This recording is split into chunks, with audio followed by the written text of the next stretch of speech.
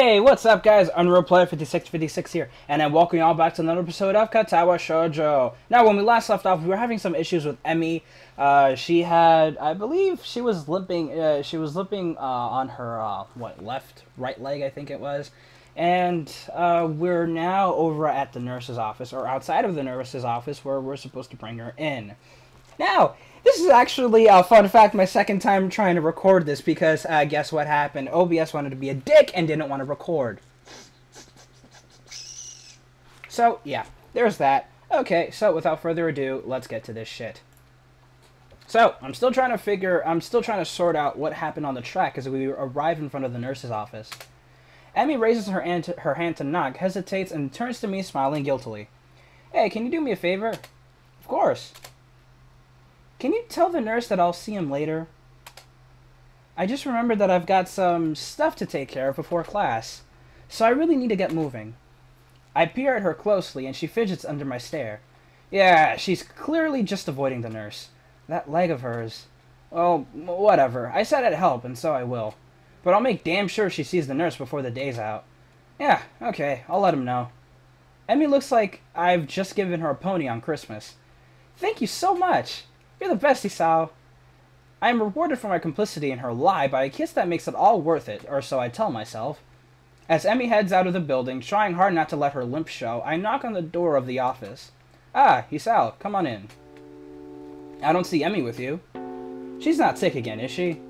From the tone of his voice, I don't think the nurse is expecting me to say, yes, she's ill. Uh, she said that she'd forgotten to do something, and so she had to skip out, but she'll see you later today. The nurse heaves an exasperated sigh. Honestly, that girl. Huh? She's been avoiding me. Yesterday she was in and out of here without even taking off her prosthetics, and now this.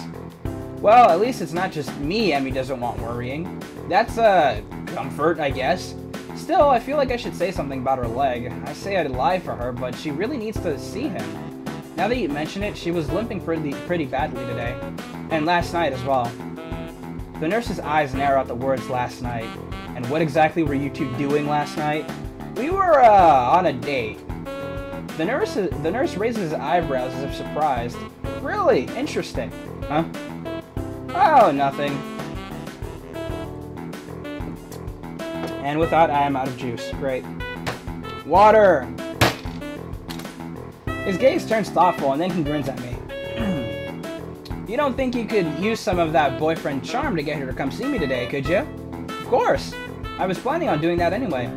I think she's really hurt and just pretending she isn't. Hmm, yes, she does that. Afraid I'll make her stop running. Will you? I don't like to, but if it's bad enough that she's been limping, well, I guess I'll have to see what's wrong for myself before I, before I can make that call. I see. Emi, not allowed to run? Perish the thought. I don't know if she'd be able to function without running. No wonder she's reluctant to admit anything's wrong. Well, I'll make sure she sees you. Good. Oh, and before I forget, he grins at me again in what feels like a vaguely threatening manner. Don't forget that I know what medications you're on. You be you be careful around Emi, got it? Wow, you look serious too. Yeah, got it. Don't hurt Emi. Wouldn't dream of it. Grand. I'd hate for you to be late. Huh? Late, as in the late Hisao Nakai. As in dead. Okay. He frowns briefly, dissatisfied. Sounded better in my head. Well, at any rate, get out of here before you miss your first class. You've got things to do, I'm sure. Shoot. As I leave, I notice the nurse pulling out his phone and dialing a number. Mako, your daughter's being a pain in the ass again. I'd better head back to my room or I really will be late. Hey, wasn't he supposed to check my heart rate? The lunch bell sounds, and I bring myself out of the stupor I slipped into during the morning's classes. My lack of sleep last night, coupled with the increased pace of this morning's run, has left me a little exhausted. Despite that, I find myself skipping stairs up to the roof. There's a thrill of excitement now, in addition to the pleasure one gets from eating lunch with one's friends. True, both Emi and Rin are still my friends, but Emi has become more than that now. Rin is back in her usual spot on the roof, almost as if she'd never been absent. Feeling better, I take it? A raised eyebrow is my reward for speaking. Better than what? Er, better than you felt yesterday. Rin gives my question some serious thought. I'm not sure. I think I might have felt rather good for some of yesterday, but it's all fuzzy. Too much cold medicine? Well, I was asleep, and that usually is pretty good. But I can't remember what it feels like to be asleep because I'm not conscious for it. It's a real problem. Then again, if I knew how good it felt, I might not sleep anymore. But this way, I keep trying, so I guess that's how I can keep my I can keep from being overtired. An eternal mystery to keep you sleeping at night. Maybe mystery is the wrong word. Intangibility might be the proper way to describe it. I see. No, I don't see at all. I have no idea what she's talking about, but that's okay, since I rarely do. Do you remember what sleeping feels like? Like yesterday, do you remember what you felt like sleeping yesterday? Well, I actually didn't get a lot of sleep yesterday. Hmm. Maybe that's because you remember subconsciously. Actually, I think I was worrying about Emi. Doesn't Emi worry enough about herself? I hadn't considered that, but it gives me pause. True, but she but would she ask for help if she needed it? Rin frowns and I and I raise an eyebrow. Will I get a proper answer? Probably not. Is there something she should be asking for help with? Her leg, for starters. This seems to catch Rin's interest. Leg? It's hurt, but she won't see the nurse about it. Rin shakes her head in disapproval. No, you have to make her. Like, she makes me go to class for her own good. Otherwise, she would lose her legs again, and that's just too weird. Losing legs, losing things twice. Especially if you don't find if you don't find them again to begin with. Unless prosthetics are the same thing, are the same as finding something. But that's a different kind of lost, isn't it? I think so. Huh, I wonder. Wonder what? Emi seems to have snuck up on Rin and me, though Rin doesn't seem especially surprised, which is itself unsurprising, I suppose.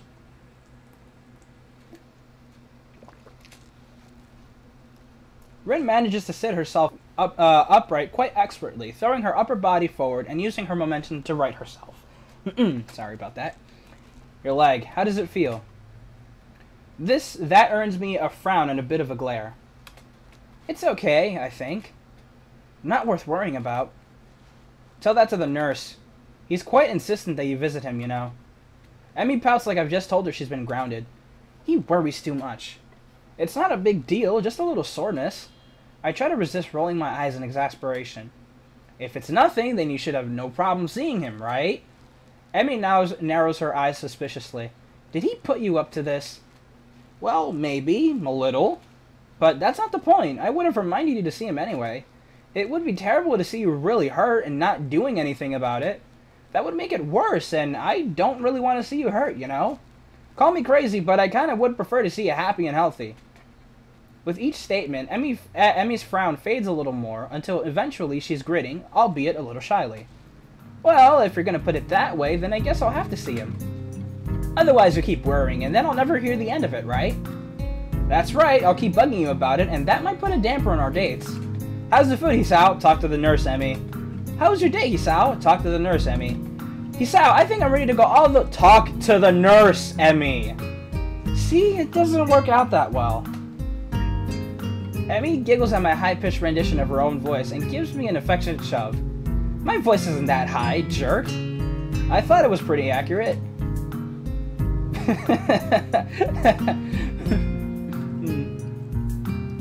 Emi and I stare at Rin for a while before I burst into laughter. Emi crosses her arms and huffs, mock offended. You're both jerks. Such vile calumnies from you, woman, from you, young woman. I'm stunned that you would call me, of all people, a jerk. Honestly, I just... I don't know what to think. Emi sticks her tongue out at me. You ass. So Rin, how's the art club these days? Rin, seemingly as surprised by the sudden change of topics as I am, takes a minute to think before answering. I believe it is okay. Although Nomiya keeps telling me to work harder. But I don't think he understands my methods. He always struck me as slightly creepy. Rin ponders this statement for a while. I've never really noticed. But I don't pay much attention to him most days, so maybe that's why. How often do you meet? Thinking of joining Hisao? What? Nah, I've already decided to join a club. Hmm, really? Which one? Well, it's not really much of a club, to be honest. Oh, you joined the tea club? No, I uh, joined the science club, I think. Emi looks highly confused. We have a science club? Uh, not really. It's just me. Hisao, that's not a club. That's sitting in your room reading books. No, I mean, it's just me and Muto. I'm just the only student so far. Muto? Really? A thought strikes her. Oh, is that what you were talking about yesterday? Your meeting with Muto? Yeah, that was our first meeting, I guess. Emi giggles. Nerd. Hey, I can't help being clever. You know, I could have used your help years ago. You should have had your heart your heart attack earlier in life, Hisao. I laugh and then realize this is probably one of the very rare times I've laughed about my heart attack. Hindsight. Yeah. The ringing of the bell ends our conversation. Hmm, guess we better go. Yeah, I guess so. Come on, Rin, you too. Rin has apparently begun to doze off, so Emi gives her a sharp bump. I almost had it. Sorry, but you need to go to class. I disagree, but maybe if I nap in class, I'll get it this time. Changing locations is sometimes helpful for that kind of thing. Neither Emi or I bother asking what it is. As we arrive at my classroom, Emi gives, a, gives me a quick kiss and heads down the hallway, Rin in tow.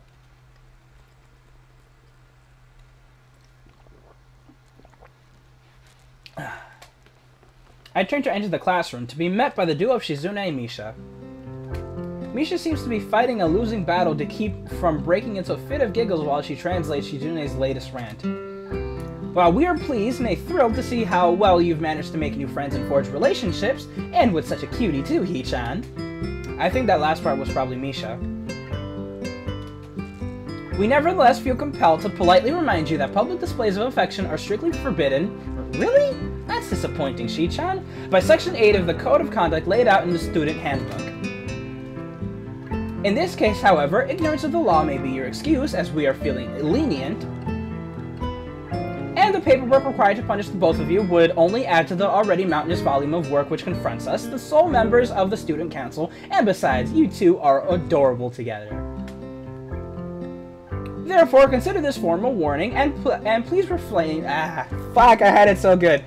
Therefore, consider this a formal warning and please refrain from such displays in the future. At least when Shizune can see you, Hee-chan. This whole spiel is so patently ridiculous that I can't help but reply in the same pompous manner. Well, I for one feel enlightened. I apologize profusely for my rash actions and will strive to contain my baser impulses, which, I fear, impel me towards such inappropriate displays of public affection. It is hardly my wish to burden an already overworked student council with such petty matters, and will do my best to make your lives easier in this matter in the future. At least when Shizune's watching. This last line is delivered with a wink to Misha, who finally loses control over laughter. well said, Hee-chan. Chuckling a little to myself, we enter the classroom. Class is uneventful, and after the final bell rings, I find myself alone with Muto again.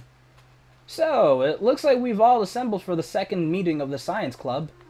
Or is it the first? What do you think? Should we count yesterday as a meeting? Well, we did from the we did form the club yesterday, didn't we?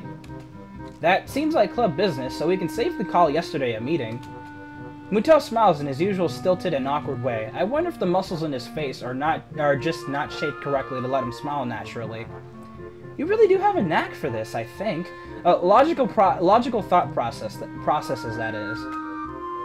I guess so.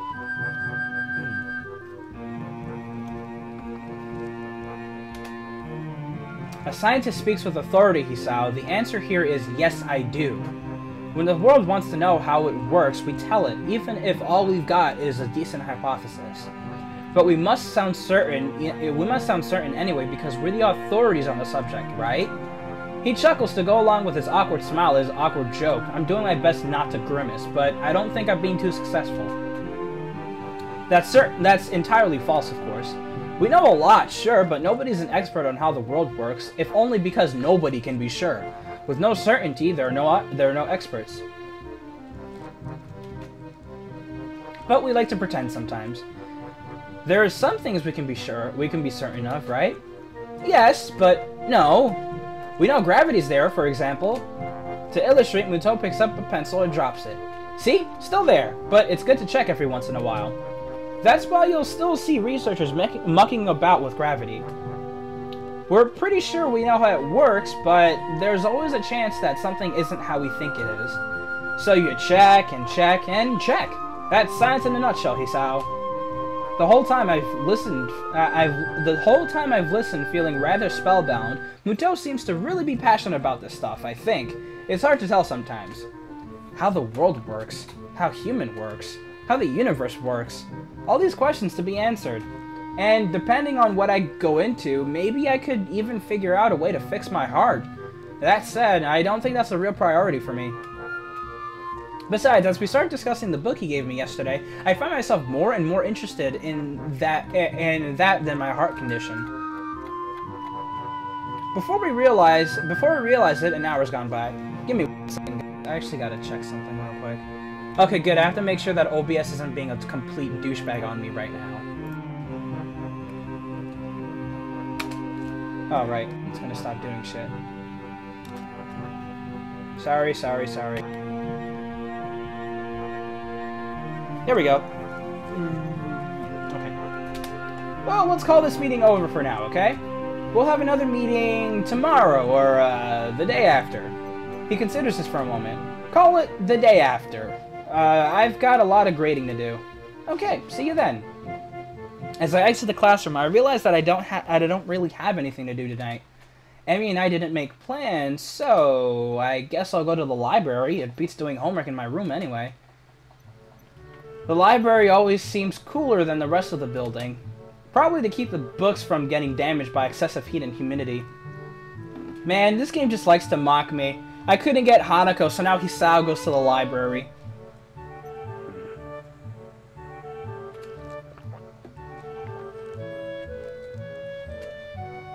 Books are sturdy objects, but if you want to keep them in good condition, it takes a little effort. I've got several books that are so well worn, the pages are barely clinging to the spine. It seems impossible for them to all to, for them to still be usable, but if you handle them with care, I make my way to the main desk where I spot Yuko busying herself with something or another. She smiles at me as I enter and waves. Hello, Hisao. Good to see you again. What are you looking for this time? Nothing in particular, I guess. I just didn't really feel like going back to my room is all. Yuko nods. Well, if you're unoccupied, maybe you could help me look for something. Sure, what do you need?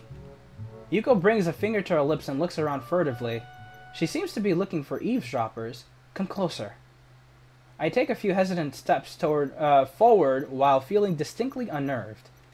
She's actually really cute. I like the little pockmarks on her cheeks. Or the little, you know, freckles. Freckles, pockmarks, whatever you want to call them. Yuko lowers her voice to a confidential whisper. I'm on the trail of the Yamato uh, of the Yamaku cat burglar. The what? Shh! The walls have ears, Hisao, or they might. But listen, those missing books, remember them? Uh, yeah? Well, they weren't missing. They were stolen. I'm convinced of it. I remember you saying something of the sort earlier, but how do you know? Luko, Yuko leans in closer and, if possible, whispers even lower. Because I found one of his hiding places. You did what? Yuko looks triumphant. Found one of his stashes. It was under one of the stairwells in the boys' dorm. Three books I'd been looking for. All three. I'd suspected a thief before, but this proves it. So did you take back the books?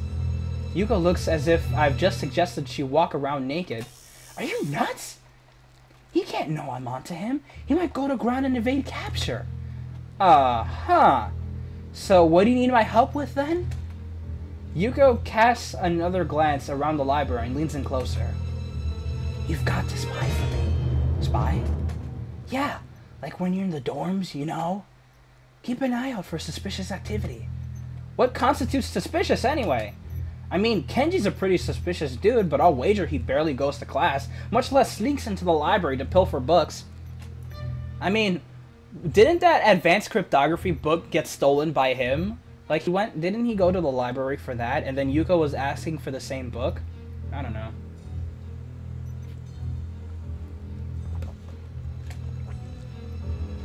Still, what's the harm in saying yes? At least it'll get me out of this weird conversation. Yeah, I can do that. No problem. Mm, Yuko straightens up and claps excitedly. Great! Now hurry up and talk about something else in case someone comes in. How's the school treating you? Uh, pretty well, actually. I've been running in the mornings with Emi Ibarazaki, right? Uh, uh, yeah. How'd you know? I served you two in the tea house, remember?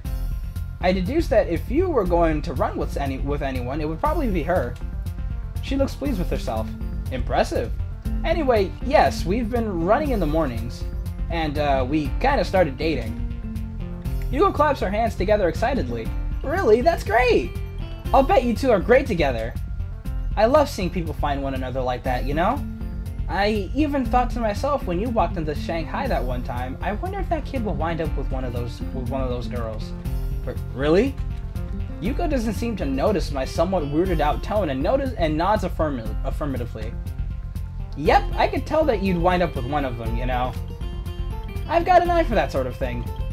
Of course. Her expression droops slightly. I'm not so good at it myself. Ah, I'm sure that's not true. Oh, it's it's true. I met this guy once. We got we got along really great, but it turned out he was younger than me. And that was kind of weird, but not terribly so. What was really weird was that he disappeared one day, and I've not seen him since then.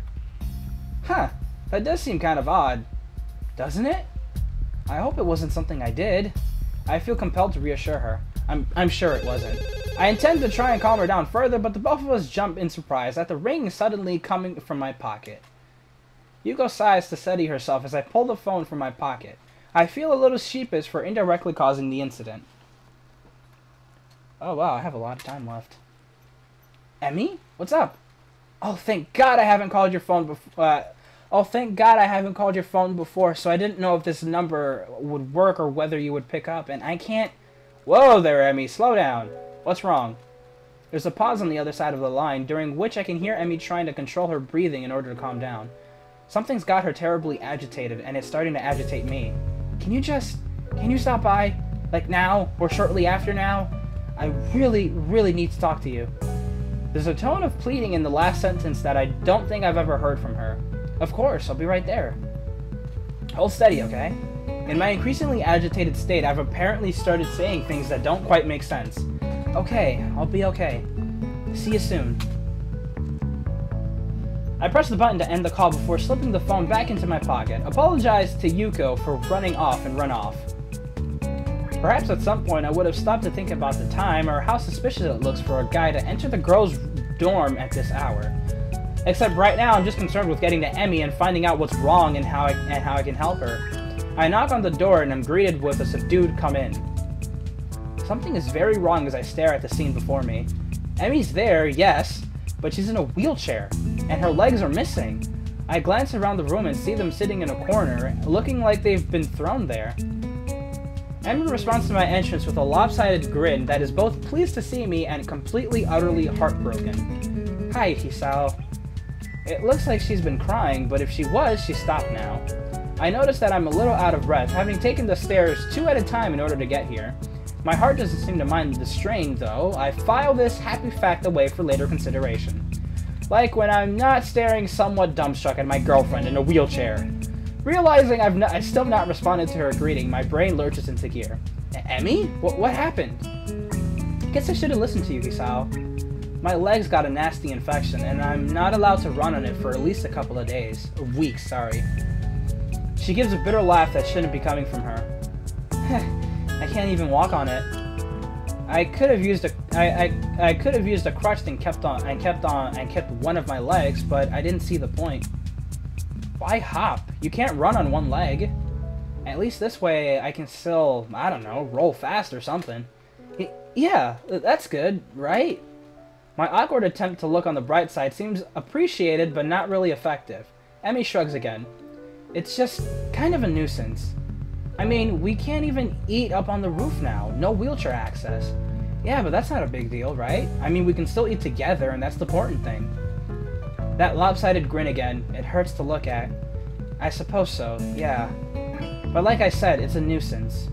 I mean, I haven't really used a wheelchair in... She thinks for a minute. Maybe seven years? Something like that, anyway. A long time. I'm afraid I'm a bit out of practice. Well, fortunately, it's only temporary, right? Emi nods. Oh, yeah, of course. It's not like I've lost him permanently. But it's a pain in the ass all the same. I nod sympathetically. There's not much else I can do after all. What am I going to say? I told you so? Although I did tell her to get that leg looked at. But by the time I noticed, it was too late uh, anyway. Do you need, do you need help with anything? Or, that is, can I help you with anything? Emi shakes her head and there's a bit of her and there's a bit of her usual grin back. Nah, I can manage fine by myself. Although if you want to help me over to my bed, it would save me the trouble of rolling there of rolling over there myself. I blush in spite of myself. Emi giggles. You're such a prude, Hisao. I'm not a prude. I just wouldn't want to take advantage of a young woman such as yourself. It's ungentlemanly.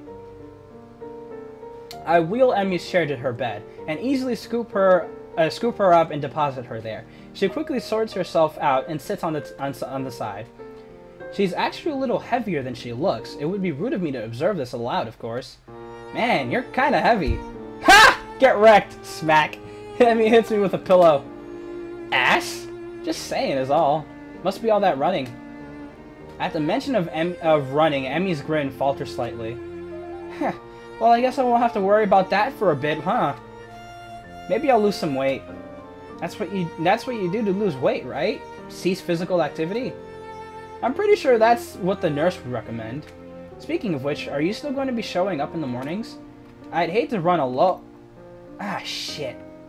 Emi's sudden interjection, more a disquieted muttering than anything too profane, uh, blah, blah, blah, causes me to look over in shock.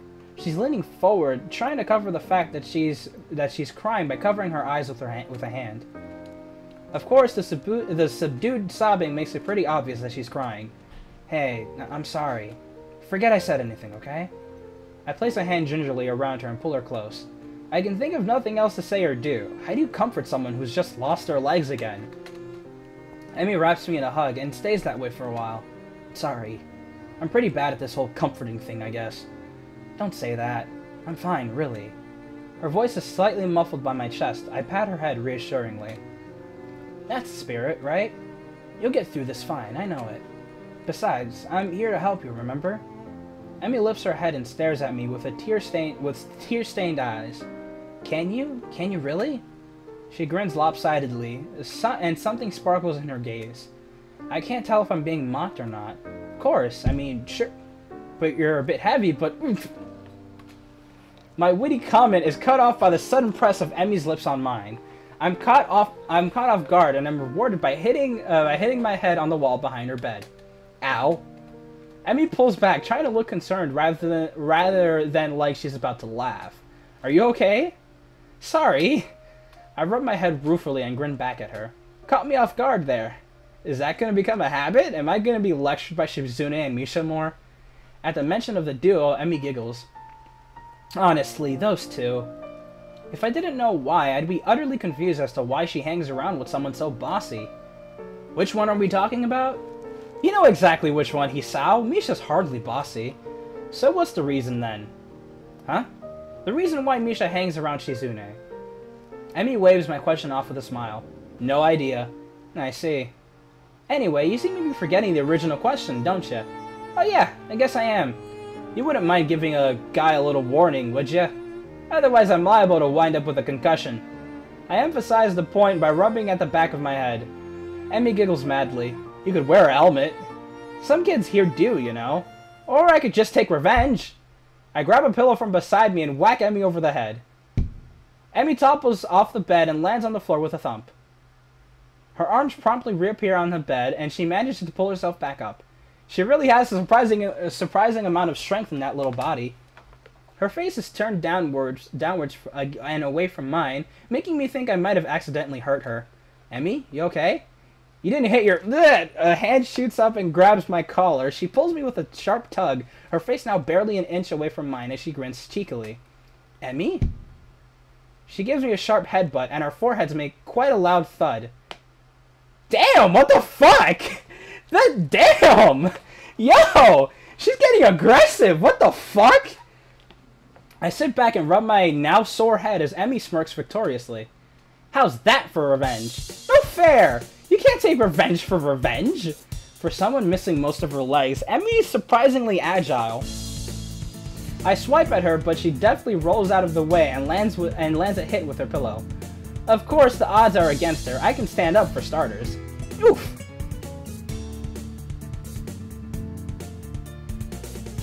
What's going on here?